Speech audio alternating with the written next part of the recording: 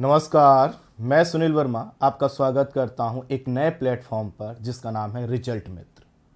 आज की वीडियो में मैं आपसे बात करने जा रहा हूँ ज्योग्राफी मैपिंग के सेगमेंट कई बार बच्चे मुझसे पूछते हैं कि, सर, अगर हमें भूगोल को अच्छे से पढ़ना है इन्वायरमेंट पर अपनी पकड़ मज़बूत करनी है करंट अफेयर्स के दबाव को कम करना है, और साथ ही साथ करंट अफेयर्स के टॉपिक हमेशा एक ही तरह से अच्छे तरीके से हमें समझ में आए, उसके लिए क्या करना चाहिए? तो इन सभी प्रश्नों का समाधान इस वीडियो में छुपा हुआ है।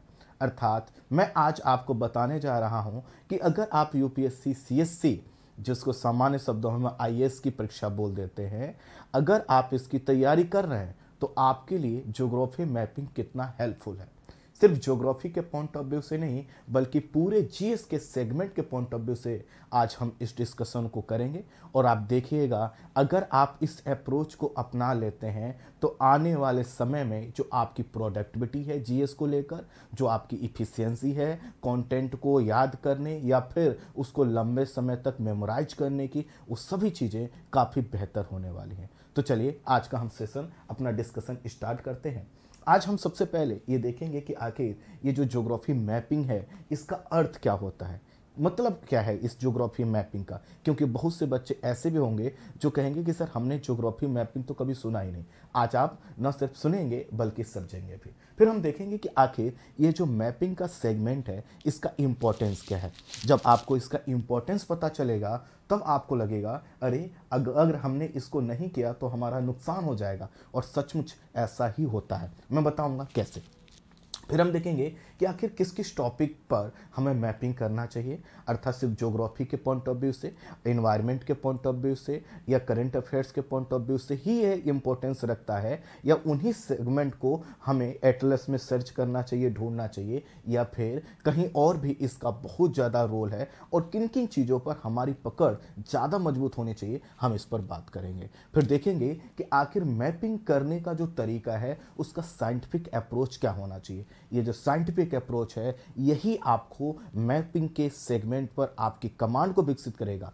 और मैं आपको भरोसा दिलाता हूँ, मैपिंग के इस अप्रोच को अपना लीजिए, मैपिंग को सही से कर लीजिए। देखिएगा, जो आज सामान्य धन आपको बिखरा हुआ, बहुत कुछ आपको लगता है कि याद करने वाला है, रटने वाला है, वो रटना नहीं पड़ेगा। आप उसको देख पा रहे होंगे। इस लाइन की शुरुआत कुछ इस रूप में हम करते हैं, अर्थात इस पूरे कॉन्सेप्ट को समझने के लिए मैं आपको दो से तीन एग्ज़ाम्पल देता हूँ। पहला एग्ज़ाम्पल आप अपने गाँव कॉलोनी अपने शहर का ले सकते हैं। तो आप, जब आप जिस गाँव में रहते हैं, जिस कॉलोनी में रहते हैं, अगर आज आप वहाँ पर नहीं हैं, वहाँ से हज़ार किलोमीटर दूर कहीं पर बैठे हुए हैं, और आज आपने टीवी खोला, किसी भी न्यूज़ के माध्यम से, आपको पता चला कि आपके कॉलोनी, आपके गाँव, आपके शहर के किसी हिस्से में कोई घटना हुई है। अब मुझे ये बताइए कि आप उस टॉप, उस घटनाक्रम को देख तो नहीं रहे बावजूद उसके, क्या आप समझ नहीं पाएँगे कि वो घटनाक्रम कैसे हुआ होगा? चाहे बाढ़ लगने की घटना हो कोई एक्सीडेंट की घटना हो या किसी भी रूप में या किस आ, किसी दो पक्षों में लड़ाई होगी तब भी अगर आपने उस आ, एरिया को देखा है उसकी गली उसके जो है कि चौराहों उससे होन के गुजरने वाले अन्य रास्तों से परिचित हैं वहाँ पर रहने वाले लोगों से परिचित हैं आप वहाँ के वहाँ पर जो भी एक्टिविटी होती है उसको समझते हैं तो अपने आप सभी चीज़ों को आप कंक्लूड कर लेंगे। ठीक इसी तरह से अगर आप कभी घूमने जाते हैं किसी शहर को घूमने गए, अच्छे से आप घूम आए। अब उस घूम कर आज आप आ गए हैं, लेकिन पाँच साल बाद भी कोई अगर आपसे उस शहर के विषय में बात करता है, आप भी बताते हैं ठीक बात है, यहाँ पर ये चौराहा है, हम भी घूमने गए थे, वहाँ पर यह हमने देखा, ये चीज़ें कितनी अच्छी हैं। होटल, रेस्टोरेंट, सब कुछ आपको याद रह जाता है। क्या आपने इन दोनों ही चीज़ों में एक चीज़ नोट किया कि जिस चीज़ को आप देख लेते हैं, वहाँ से जुड़ी सूचनाएँ अपने आप, आपके मन और मस्तिष्क और दिल में लंबे समय तक घर कर जाती रहता है कि नहीं? ठीक यही चीज़ अगर हम क्या करें, पूरे विश्व और भारत के संदर्भ में अपना लें। अर्थात अगर हम अपने देश और अपने विश्व को उन नज़र, उस नज़रिए से देख लें, जिस नज़रिए से देखने की उम्मीद यूपीएससी सीएससी आपसे करता है तो मैं आपको भरोसा दिलाता हूँ कि जो भी घटनाएँ होती हैं, वो आपको याद नहीं करना पड़ेगा, रटना नहीं पड़ेगा। फिर से एक एग्ज़ाम्पल को समझिए। मान लेते हैं कि आप जो है कि बेंगलुरु कभी नहीं गए। अब मैं एक बार आपको बेंगलुरु लेकर चलूँ, तीन से चार दिन खूब वहाँ पर घुमाऊं। अब वहाँ पर जितने भी कॉन्फ्रेंस होंगे, या वहाँ बेंगलुरु से आने वाली जितनी भी सूचनाएँ कभी आपके सामने आएँगे, तुरंत आप उसको इंटरलिंक कर पाएँगे और उस सूचना को भूलेंगे नहीं। क्योंकि आप उस घटनाक्रम को अपने से जोड़ लेते हैं, अपने देखी हुई चीज़ों से जोड़ लेते हैं। ठीक इसी तरह से अगर आप किसी देश की मैपिंग बहुत अच्छे से कर लें, खासकर अपने देश, भारत की मैपिंग हम अच्छे से कर लें तो भारत के अंदर जितनी भी गतिविधियाँ हो रही हैं, वो सब आपके दिमाग में छपेंगी, क्योंकि आप उसको दरअसल देख रहे होंगे। तो आप कहेंगे कि, सर, इसमें एक कमी है। कमी ये है कि मैं जब आपको विजुलाइज करवाने का प्रयास कर रहा हूँ तो मैं आपको कह रहा हूँ कि आपको अपने गाँव, अपने शहर या किसी घूमे हुए स्थान का एग्ज़ाम्पल दे रहा हूँ। और यहाँ पर मैं आपको पढ़ाने पढ़ने के पर्पज से कह रहा हूँ कि अगर हम पूरे भारत को देख लें, पूरे विश्व को देख लें, जी हाँ मैं दोनों ही चीज़ें एक ही जैसी हैं। घूमना भी दो तरह से, एक तो है हम पूरे विश्व को घूमें, जो कि संभव नहीं है। लेकिन एटलस को अगर आपने रोचक तरीके से और मेरे नज़रिए से देख लिया, मैं भरोसा दिलाता हूँ कि आपका जो जानकारी है, वो किसी भी ट्रेवल करने वाले व्यक्ति से, अर्थात कोई भी व्यक्ति पूरे विश्व को घूमना आज के समय में संभव नहीं है। सबकी व्यस्तता है। लेकिन आप इतना जानते होंगे जब भी किसी देश की बात आएगी, उसकी किसी इंपॉर्टेंट प्लेस की बात आएगी, आप वहाँ पर, चूँकि मेरे साथ जब आप मैपिंग कर लेंगे तो अपने आप देखिएगा, आप उस स्थान को लोकेट कर पा रहे होंगे। मैं, जैसा कि आपको बहुत से बच्चों को मेरा बैकग्राउंड पता है तो जब भी मैं ऑफलाइन क्लास में पढ़ाता रहा हूँ, मैं बच्चों से कहता हूँ कि मेरे साथ सिर्फ़ चार दिन आप मैपिंग कीजिए।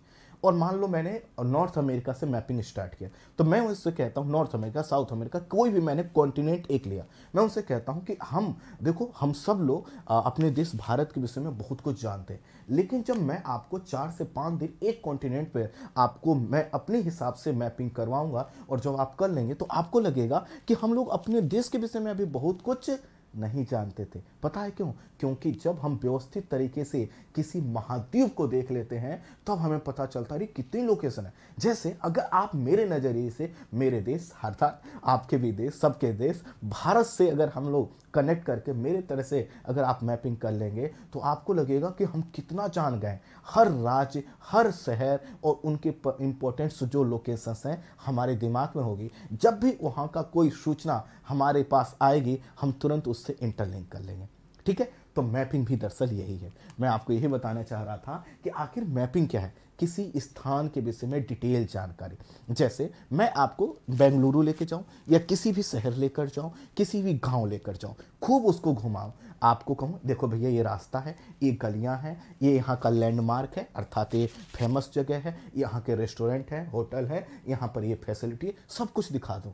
तो क्या आप उस जगह की सोच, उस संदर्भ में जो भी मैंने जगह आपको घुमाया, उसके विषय में चार साल, पाँच साल, कभी भी कोई न्यूज़ आएगी ना, तुरंत आपके दिमाग में छप जाएगी। ठीक इसी तरह से अगर आप मैपिंग को भी कॉन्टिनेंट वाइज हर कॉन्टिनेंट की मैपिंग कर लें। जैसे मेरा मानना है कि अगर आप पंद्रह घंटे, दस से पंद्रह घंटे कम से कम कम से कम पंद्रह घंटे नॉर्थ अमेरिका को दे दें। पंद्रह घंटे आप जो है कि साउथ अमेरिका को दे दें। लगभग बीस घंटे आप जो है कि अफ्रीका कॉन्टिनेंट को दे दें। पंद्रह से बीस घंटे ही यूरोप को दे दीजिए। लगभग तीस घंटे एशिया कॉन्टिनेंट को देख दीजिए और चालीस घंटे हमें जो है कि सिर्फ़ अपने देश को देना है। देखिएगा, हर लोकेशन जहाँ से प्रश्न बन सकता है, वो सब लोकेशंस को आप देख रहे होंगे। इसका मतलब है कि मैपिंग का अर्थ होता है किसी स्थान, किसी क्षेत्र के विषय में डिटेल जानकारी प्राप्त करना। इस डिटेल जानकारी में क्या होता है? सबसे पहले तो जोग्राफिकल चीज़ें, कि आखिर वो कहाँ पर है? वह शहर, वह देश, वह राज्य कहाँ पर है? ठीक है? उसकी भौगोलिक विशेषताएँ क्या हैं? अक्षांश क्या है? देशांतर क्या है? अब आप कहेंगे कि सब, सभी देशों के अक्षांश, देशांतर को नहीं। बहुत आसान तरीका होता है। मैपिंग बहुत आसान होता है। मैं बताऊँगा कैसे आसान होता है, ठीक है? तो हम पहले उसकी जोग्राफी से जुड़े हुए, वहाँ के नदी, पर्वत, पहाड़, मैदान, कोई फ़ेमस जो है कि नेशनल पार्क हो सकता है या कोई अन्य प्लेस हो सकता है, उसको हम देखते हैं। ठीक इसी तरह से वहाँ पर कोई ऑर्गेनाइजेशन हो सकता है, वहाँ पर कोई कॉन्फ्रेंस हुआ हो या फिर कोई जो है कि कन्वेंसन हुआ हो, उसके विषय में जानकारी। अर्थात किसी देश, किसी महाद्वीप के विषय में डिटेल जानकारी प्राप्त करना किसके माध्यम से? एटलस के माध्यम से ही मैपिंग है। एटलस क्यों? क्योंकि हम घूमने तो जा नहीं सकते। हमारे पास ना तो इतना पैसा है और ना ही हमारे पास इतना समय है कि हम घूमने जाएँ। तो हम क्या करेंगे? एक एटलस लेंगे। किसी भी पब्लिकेशन का ले सकते हैं। अगर आपके पास नहीं है तो मैं आपको सजेस्ट करूँगा, आपको ऑक्सफोर्ड का स्टूडेंट एटलस लेना चाहिए। एटलस ले लीजिए। मेरे हिसाब से मैपिंग कीजिए। डिटेल जानकारी पर प्रत्येक कॉन्टिनेंट के प्राप्त कीजिए। देखिएगा, आप करेंट अफेयर जोग्राफी है ना? वर्ल्ड हिस्ट्री इन्वायरमेंट जितनी भी चीज़ें आप पढ़ते हैं ना, सब अभी क्या है, आपको कुछ दिखता नहीं टेक्स्ट दिखता है। लेकिन जब आप, जहाँ का भी कोई बात ज़िक्र आएगा, जैसे आपने करेंट अफेयर्स में आज पढ़ा कि साउथ अमेरिका में ऐसा हुआ, यूरोप के किसी देश में ऐसा हुआ। तो आप चूँकि उसको घूम चुके हैं, मेरे हिसाब से घूम चुके हैं, तुरंत आप उससे क्या कर लेंगे, अपने आप को कनेक्ट कर लेंगे। तो पहला अर्थ ये हुआ मैपिंग का अर्थ ये हुआ कि इससे क्या होता है डिटेल जानकारी किसी देश, किसी राज्य, किसी महाद्वीप के विषय में प्राप्त करना ही मैपिंग है और वो भी किसके माध्यम से? एटलस के थ्रू एटलस में हम देखें कि अच्छा ये एक्स वाई जेड मान लो, हमने एटलस खोला, एक सेकेंड दीजिएगा मुझे। हमने एटलस खोला और एटलस में मान लो यह एक कॉन्टिनेंट का। अब हमने क्या किया कि यहाँ पर कोई स्थान है और हमने ए ए मान लो ए स्थान है। इसके विषय में सभी चीज़ों की जानकारी एटलस के माध्यम से देख लिया क्या क्या इसके इंपॉर्टेंट फीचर्स हैं, यही क्या है हमारा मैपिंग का सेगमेंट है ना? तो मैपिंग का अर्थ है किसी क्षेत्र के विषय में डिटेल जानकारी पर। अगला है ऑल फीचर्स इंफॉर्मेशन अर्थात उससे जुड़े हुए। मान लो आपने कोई ए स्थान के विषय में समझा कि यहाँ पर कोई कन्वेंशन हुआ, ठीक है? आपने कहा यहाँ पर कोई कन्वेंशन हुआ या फिर कोई कॉन्फ्रेंस हुआ या यहाँ पर कोई घटना हुई। अब उस घटना वहाँ पर क्यों हुई, उसके क्या क्या कारण थे कन्वेंशन हुआ, उसमें कौन कौन शामिल हुआ क्या क्या निर्णय लिए गए, ऐसी सभी जानकारियों को आप उससे कलेक्ट करें। उसकी जोग्राफी से जोड़ें, उसकी जो है कि वहाँ पर जो उसका जियो है अर्थात तो वो कहाँ पर है, क्यों वहीं पर कन्वेंशन हुआ, या कोई घटना हुई तो वहीं पर क्यों हुई, उसका क्या इम्पैक्ट पड़ा, जितने भी आपको इन्फॉर्मेशन जो परीक्षा के पॉइंट ऑफ़ व्यू से चाहिए, वो सभी आप उस स्थान के विषय में अगर जानकारी प्राप्त करते हैं, ये मैपिंग है। ठीक है, इसमें हम क्या क्या देखते हैं? पर्वत पहाड़ पहाड़ नदी मैदान घाटियाँ, है ना? प्रमुख संस्थाएँ जो है कि होने वाले घटनाक्रम इवेंट्स कॉन्फ्रेंस पार्टी सब कुछ इसमें हम लोग कवर करते हैं, ठीक है? इसका मतलब क्या है कि जब हम इस मैपिंग को अपना लेते हैं तो इससे क्या होता है कि जो भी हम कुछ पढ़ रहे होते हैं, वो हमारे दिमाग में छप जाता है। फॉर एग्जांपल, मैं कहूँ, आप पेरिस एग्रीमेंट बहुत पढ़ते हैं।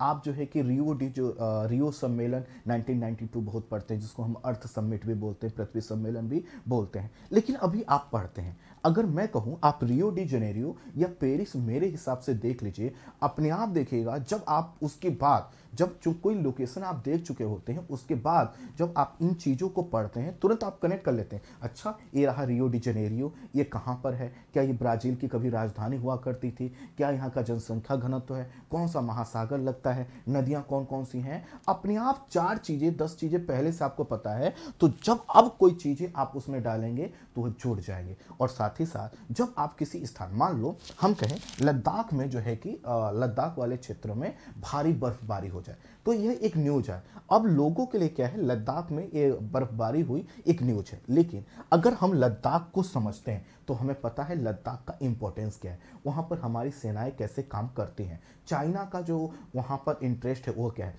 चाइना किस तरह से वहाँ पर अपने आर्मी बेस को मज़बूत कर रहा है? पाकिस्तान का कनेक्शन क्या है? और साथ ही साथ इस समय जो एक जियो पॉलिटिक्स चल रहा है, चाइना और रूस क्या है? एक दूसरे के करीब है। और रूस पहले हमारे करीब हुआ करता था। तो हमने क्या किया? हर तरीके से, चूँकि हमें लद्दाख के विषय में सिर्फ़ एक सूचना मिली, लेकिन हमें पूरे घटनाक्रम को हम देख रहे हैं, समझ रहे हैं, तुरंत हम लद्दाख से क्या करेंगे? उसको इंटरलिंक कर लेंगे। इससे क्या हुआ? एक छोटी सी सूचना पर हमारा दिमाग तुरंत काम करे। लेकिन तब, जब हम लद्दाख के विषय में सभी चीज़ों को समझ रहे हैं, कैसे समझेंगे? जब हम लद्दाख की मैपिंग करें तो हम क्या करें? हम सभी चीज़ों को समझें कि भैया, लद्दाख की लोकेशन ये है, इसके फीचर से हैं, ये क्यों चर्चा में बना हुआ है? आप चूँकि कोई चीज़ जब चर्चा में बना हुआ है, न्यूज़पेपर में आता है, न्यूज़पेपर आप पढ़ते हो तो मैपिंग क्या करता है ना, किसी विषय पर आपकी जो सोच है अप्रोच है, उसको न सिर्फ़ विजुलाइज करवा देता है, बल्कि आपको बहुत शानदार डायमेंशन देता है। डायमेंशन का मतलब होता है किसी एक चीज़ पर कितने एंगल से सोच सकते हैं। जैसे मैंने कहा, लद्दाख में भारी बर्फबारी हो जाए।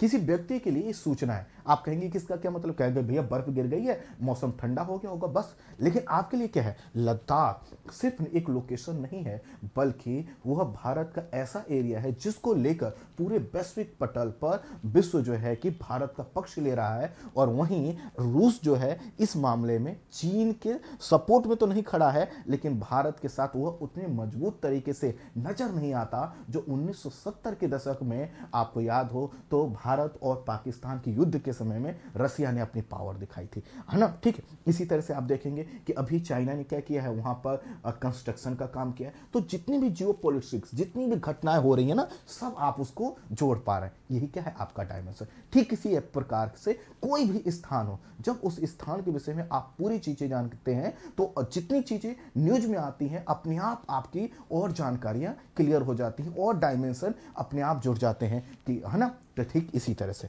तो आई होप आप समझ पाए होंगे कि मैपिंग का अर्थ क्या है। प्रश्न आएगा, सर, कि मैपिंग अब करना क्यों चाहिए? ये भी बता दीजिए। तो देखिए, प्रत्येक साल जो है कि प्रिलिम्स में आप देखें तो पाँच से छह क्वेश्चन आते हैं। पाँच से छह क्वेश्चन इतने आसान होते हैं मैपिंग के। अगर आपने मैपिंग किए तो नहीं तो पसीना छोड़ जाएगा, आपसे सॉल्व भी नहीं होगा। तो अगर आपने मैपिंग किया है तो पाँच से छह क्वेश्चन प्रिलिम्स में आपको डायरेक्ट मिलेंगे। दूसरा, एक से दो प्रश्न मुख्य परीक्षा में मिलेंगे। और साथ ही साथ, यह किसी टॉपिक पर कॉन्सेप्ट को मज़बूत करता है। मतलब जैसे आप पढ़ रहे हो, चक्रवात क्या है? है ना? आप पढ़ते रहते, भूकंप आता है, ज्वालामुखी आता है है ना? जितने प्रकार के डिजास्टर आते हैं, है ना? या ठीक आप इसी तरह से आप इन जो है कि जो भी क्लाइमेट चेंज से जुड़े हुए मुद्दे हुए हैं, जैव विविधता से जुड़े हुए जो भी कॉन्फ्रेंस पार्टीज़ हुई हैं, उन सबको आप पढ़ते रहते हो। लेकिन वो पढ़कर आप भूल जाते हैं। लेकिन जब आप मैपिंग से के माध्यम से उन चीज़ों को इंटरलिंक करते हैं, जैसे मान लो जलवायु परिवर्तन के लिए कुछ समझौते हुए, कितने हो चुके हैं? पच्चीस, छब्बीस, सत्ताईस कितने हो चुके हैं? आप बताइएगा। अब उन सबको हम क्या करें? एक मैप बना ले कि भैया पहली बैठक यहाँ पर हुई, उसके विषय में दो पॉइंट्स है ना, दूसरी बैठक है। और सिर्फ़ उसको हम मैप पर नोट कर लें, लोकेशन देख के, वर्ल्ड का एक मैप लें और कहाँ पर कौन सी घटनाक्रम हुए और जो हमें इंपॉर्टेंट लगता है, उसी को मैप में देख लें। कभी आप नहीं भूलेंगे। अर्थात यह क्या करता है, हमारे कॉन्सेप्ट को बढ़ाता है। मानसून को बिना मैप देखे, बिना एटलस देखे आप पढ़ लेंगे तो मानसून से वर्षा भले ही हो जाए, दिमाग में कुछ नहीं आएगा। लेकिन अगर आपने मैप के थ्रू एटलस के थ्रू वर्षा को पढ़ा तो वर्षा भारत में भी होगी, अंदर भी होगी। ठीक इसी तरह से भूकंप ज्वालामुखी के वितरण को आप पढ़ लीजिए कि हाँ प्रशांत महासागर वाला क्षेत्र है, वहाँ पर ज़्यादा आता, क्यों आता है? ये कॉन्सेप्ट बताता मैपिंग आई होप समझ पाए होंगे, ठीक है? लॉन्ग टर्म इंफॉर्मेशन रिकॉर्ड अर्थात लंबे समय तक जो भी मैपिंग के माध्यम से चूँकि चीज़ों को लोकेशंस को, वहाँ से जुड़े हुए घटनाक्रम को लंबे समय तक आप याद रख पाते हैं, इसलिए यह क्या होता है? आपकी प्रोडक्टिविटी आपकी इफिशियंसी को बढ़ा देता है। कोई चीज़ आपने न्यूज़पेपर में आज पढ़ा, घटनाक्रम, और आपने उसको अगर मैप से नहीं देखा तो क्या होगा? दो दिन बाद भूल जाएँगे। लेकिन अगर आपने उसको एटलस में देख लिया, थोड़ा सा और दिमाग लगाए, कुछ चीज़ों को और इंटरलिंक करने का प्रयास किया तो हो सकता है दो महीने बाद भी वह आपके लिए उतना ही फ्रेश नज़र आए। ठीक है? रिवीजन में हेल्पफुल होता है। अगर आपने मैपिंग सही से की है तो पूरा टेक्स्ट पढ़ने की ज़रूरत नहीं है। मैप को पलटते हुए चले जाइए। जैसे आपने देखें, आप क्या करते हैं? बहुत सा बुक्स आप पढ़ते हैं। उसमें आप अंडरलाइन कर लेते हैं। तो अंडरलाइन वाली चीज़ों को बाद में अगर रिवीजन करते हैं, सही से आपने पढ़ा है तो अंडरलाइन वाली चीज़ों से ही आपको पूरा चैप्टर रिकॉल हो जाता है। ठीक इसी तरह से मैपिंग अगर आपने मेरे हिसाब से मैपिंग की है तो रिवीजन तुरंत होता है। मतलब जो लोग टेक्स्ट पढ़ के दो महीने में करते हैं, उसी कंटेंट को आप मैपिंग के माध्यम से दो घंटे में कर सकते हैं। हाँ मैपिंग करते समय समय ज़रूर ज़्यादा लगेगा, लेकिन सिर्फ़ एक बार लगेगा, ठीक है? इजी एंड जो है कि इंटरेस्टिंग जोग्राफी तो जोग्राफी को तो ये तो बहुत मज़बूत बना देता है। भूगोल जिनके लिए कठिन लगता है, वो मेरे साथ एक बार मैपिंग कर लेंगे। अभी कुछ समय बाद क्लास चालू होगी। देखिएगा अल्टीमेट तरीके से आपकी इस पर पकड़ मज़बूत होने वाली ठीक है? बाकी करंट अफेयर्स है ना? आई आर आई आर देखो, पूरा मैपिंग का खेल है। अगर मैपिंग को सही से समझ पाएगा ना तो आप समझोगे कोई घटना क्यों कहीं पर हो रही है, ठीक है? इन्वायरमेंट के पॉइंट ऑफ़ व्यू से बायोडाइवर्सिटी डिजास्टर मैनेजमेंट इकोनॉमी जितने भी आपके जीएस के सेगमेंट सेगमेंट है, सब में यह हेल्पफुल है। सभी के लोकेशंस को जिनको आप पढ़ते हो, यह क्या करेगा? उन, जब आप उन टॉपिक मैपिंग के बाद उन टॉपिक्स को पढ़ोगे तो सिर्फ़ पढ़ोगे नहीं, आप उसको देख रहे होगे। बस क्या करना होगा? मैपिंग आपको मेरे हिसाब से करना होगा। कैसे करना होगा? एक एक महाद्वीप को समग्रता से लीजिए। अर्थात आज ऐसा नहीं कि आज मेरा मन कर रहा है यूरोप घूमने का। चलो, हमने एटलस खोला, यूरोप घूम के चले। नहीं, ये मैपिंग नहीं।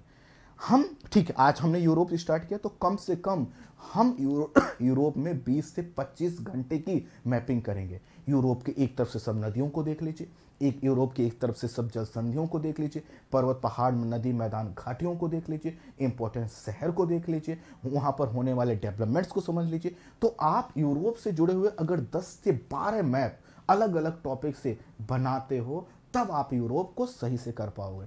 मैपिंग का मतलब ये नहीं है कि आज न्यूज़ में हमने आया कि फ्रांस में या जर्मनी में कोई घटना हुई, हमने जर्मनी टिक कर दिया। ये रहा जर्मनी, यूरोप खोला ये रहा जर्मन। ये मैपिंग नहीं है। ये तो मैपिंग के नाम पर एक ऐसा गलत धारणा बनाई गई है और जिनको नहीं आता वो क्या करें गलत धारणा ही बनाएँगे, जिन्होंने कभी गहराई देखी ही नहीं मैपिंग की। उनको पता ही नहीं है मैपिंग का मतलब। तो क्या करें? जर्मनी देख लिया कि भैया जर्मनी के पास शहर कौन से हैं? ज़्यादा से ज़्यादा देश देख लिया, सागर देख नहीं। मैपिंग का मतलब है कि प्रत्येक कॉन्टिनेंट का आप हर सेपरेट मैप, जैसे मैं नॉर्थ अमेरिका या मैं ही यूरोप अगर करवाऊँ, कैसे करवाऊँगा?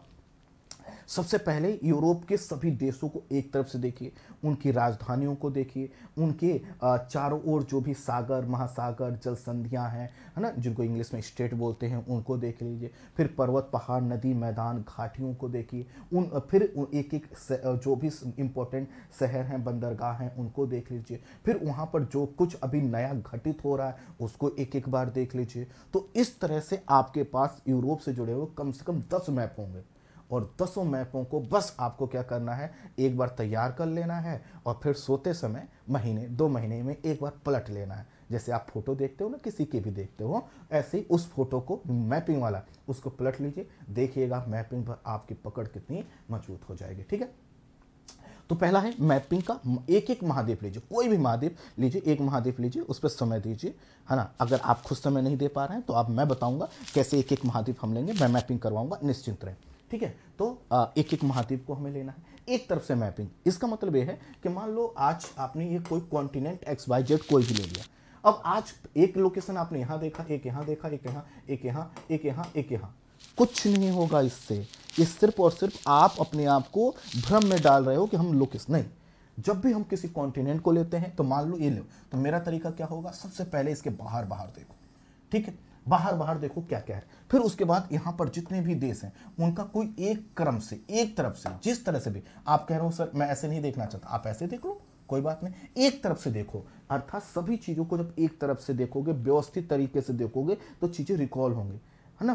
कूद फांद करने का सेगमेंट नहीं है मैपिंग एक तरफ़ से कीजिए। जैसे मान लो हमने बाहर बाहर देख लिया। अब हमने देश अंदर अंदर एक तरह से देख लिया। फिर हमें देखना है भैया पर्वत पहाड़ नदी मैदान। तो मान लो पर्वत और पहाड़ देख रहे हैं। तो हम क्या करेंगे? यहाँ से एक तरफ़ से पर्वत देखना चालू करो। ऐसे देख लो पर्वत भी इस तरह से देख लो।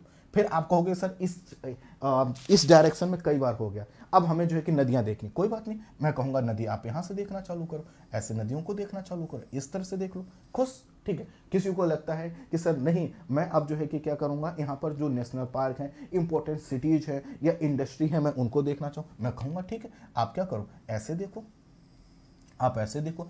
एक तरफ़ से देखो। कुल मिलाकर एक तरफ़ से देखो। ठीक है? तो यहाँ पर क्या है? एक तरफ़ से आपको मैपिंग करनी चाहिए।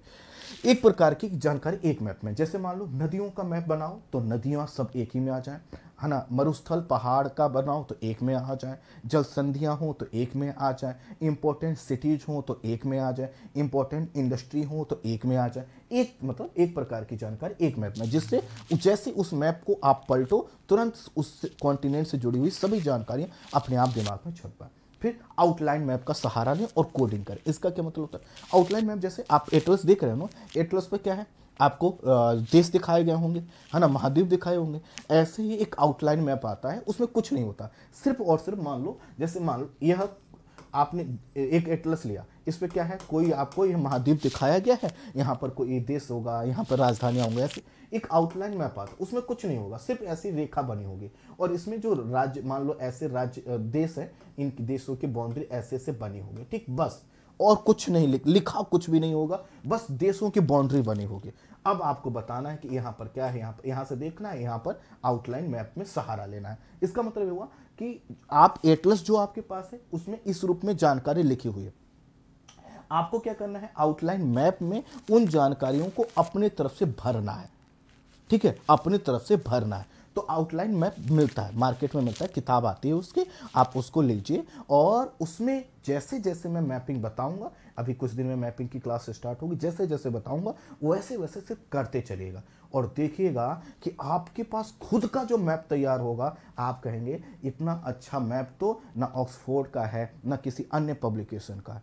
क्यों? क्योंकि आप उसको बना रहे एक एक पॉइंट मैं बताऊँगा कि कौन सा कहाँ पे आपको लिखना है ठीक है?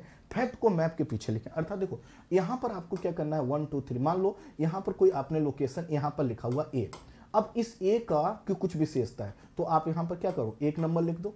यहाँ पर कोई स्थान है आ, बी है ना? तो इसका मान लो यहाँ पर आप लिख दो ये आपका दो नंबर इंफॉर्मेशन अब इसी मैप के पीछे एक नंबर की क्या विशेषता है? दो नंबर की क्या विशेषता है? पीछे लिखिए। पूछिए पीछे क्यों लिखना है?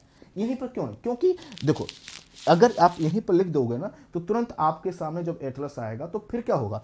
आपको इस लोकेशन को याद करना होगा। इससे जुड़ा हुआ जो फैक्ट है, वो आपको दिख रहा है तो आपके दिमाग पर ज़ोर नहीं पड़ेगा। लेकिन जब पीछे लिखा होगा तो पहले आप सोचोगे, एक नंबर हमने क्यों लिखा? उसकी कुछ विशेषता याद आएँगे। नहीं आए, पीछे पलटो, एक की विशेषता देख लो। फिर आप कहोगे अच्छा ये दो क्या है? हमने क्यों लिखा था? फिर आप अपने दिमाग को बोलोगे, याद करो। कुछ याद कर पाएगा, कुछ नहीं करेगा, पीछे। एक, दो, तीन, बस इतनी बार आप इसको, यही प्रोसेस को अपना लेंगे, आप देखिएगा, आपका जो मैपिंग की जो जानकारी है, वो आपके दिमाग में छप जाएगी। मैं करवाऊँगा मैपिंग निश्चिंत रहिए। अभी तो ये उनके लिए है जो जानते ही नहीं मैपिंग है ना? अगर आप ये वीडियो देख रहे हैं तो आप निश्चिंत रहिए, पूरा मैपिंग मैं करवाऊँगा अल्टीमेट तरीके से, ठीक है? फैक्ट को, अर्थात जो भी आप यहाँ पर फैक्ट पढ़ें कॉन्सेप्ट से इंटरलिंक करें। जैसे मान लेते हैं, आप भूगोल पढ़ रहे हैं या इन्वायरमेंट पढ़ रहे हैं तो उसको सिर्फ़ पढ़िए मत। आप एटलस के साथ पढ़िए। जो कुछ भी कुछ हो रहा है किसी क्षेत्र में तो मैप के माध्यम से देखिए। मान लेते हैं कि आपने सुना आ, कहीं चक्रवात के विषय में पढ़ा तो आप देखिए वो कौन सी लोकेशन है। वहाँ पर चक्रवात क्यों आया होगा? ठीक इसी तरह से कहीं कोरल रिप के विषय में पढ़ रहे हैं। तो कोरल रिप की कोई घटनाक्रम किसी स्थान को बताता उस स्थान को ध्यान से देखिए और अन्य चीज़ों से उसको इंटरलिंक कीजिए। तो इससे क्या होगा? जो भी आप पढ़ रहे हैं ना उसको जब मैपिंग से इंटरलिंक करेंगे फैक्ट को कॉन्सेप्ट के साथ जोड़ेंगे तो टॉपिक अपने आप क्या होगा? विजुअलाइज होगा ठीक है? अगला क्या करना है? स्वयं द्वारा बनाए गए मैप को अपडेट करते हैं। अर्थात मान लेते हैं मैंने आज नॉर्थ अमेरिका कंप्लीट कर लिया पंद्रह घंटे बीस घंटे देखे। अब चार महीने बाद उसमें कुछ अपडेट आया कि यहाँ पर ये हुआ। मैं क्या करूँगा? मुझे बस एक मिनट चाहिए इसी आ, क्या करूँगा? नॉर्थ अमेरिका कॉन्टिनेंट के मैप को खो निकालूँगा जो मैंने बनाया है और देखूँगा किस प्रकार का इंफॉर्मेशन है किसी नदी पहाड़ नदी पर्वत पहाड़ के संदर्भ में इंफॉर्मेशन है तो उसमें लिख दूँगा। किसी इंडस्ट्री के संदर्भ में इंफॉर्मेशन है तो जो इंडस्ट्री वाला मैप था उसमें लिख दूँगा, ठीक है? कोई भी विषय पढ़ते समय मैप का सहारा अवश्य लें, अर्थात मैप और एटल मैप आपके सामने और एटलस बगल में होना चाहिए। बिना इनके पढ़ाई मतलब आँखों पर पट्टी बांधकर आप मेहनत कर रहे हो, जिसका कोई फल नहीं मिलेगा, ठीक है? बिल्कुल भी नहीं। कोई भी विषय पढ़िए न्यूज़पेपर पढ़िए, कोई भी विषय पढ़िए, आपके सामने एटलस होना चाहिए और शरीर में फुर्ती होनी चाहिए कि कोई जगह आई, कोई लोकेशन का ज़िक्र आया, तुरंत उसको खोजें, उसको देखें। ये मेहनत आपको करना होगा, ठीक है?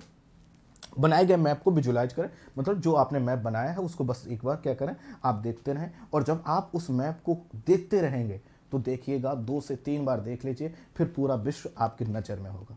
आँख बंद करोगे, हर जो है कि कॉन्टिनेंट की जानकारी बता देंगे। कितनी जानकारियाँ? एक कॉन्टिनेंट की कम से कम 400 से 500 जानकारियाँ आपके दिमाग में होंगी। ना कुछ पढ़ने की ज़रूरत है, ना कुछ। बस इस तरह से मैपिंग एक बार कर लेने की ज़रूरत। ठीक है? रटने से बचना है। बहुत से लोग लगता है कि मैपिंग का मतलब ये है कि नदियों को रट लो, पर्वतों को रट लो, पहाड़ों को नहीं। रटने का नहीं, देखने की चीज़ है। तो जो देखने वाली चीज़ है, उसको देखिए। रटने वाली चीज़ें जो आपको पता होंगी, आप रटिएगा। ठीक है? आई होप आप इसको समझ पाए होंगे। तो ये था हमारा मैपिंग के विषय में एक छोटी सी चर्चा। अगर आप चाहते हैं कि मैपिंग जो है कि मैपिंग की क्लासेस भी आपको मिलें तो आप मुझसे इन सोशल मीडिया प्लेटफॉर्म पर जुड़ जाइए और मैपिंग पर देखिए आपकी जितनी जानकारी किसी को नहीं होगी। मैपिंग की क्लास बहुत जल्दी स्टार्ट होने जा रही है। इन प्लेटफॉर्म पर जो आप मुझसे जुड़े रहेंगे तो यहाँ पर जब क्लास की सूचनाएँ आपको दी जाएँगी, आपको पता चलती रहेंगी। ठीक है? मिलते हैं नेक्स्ट वीडियो में। Thank you so much thank you so much thank you so much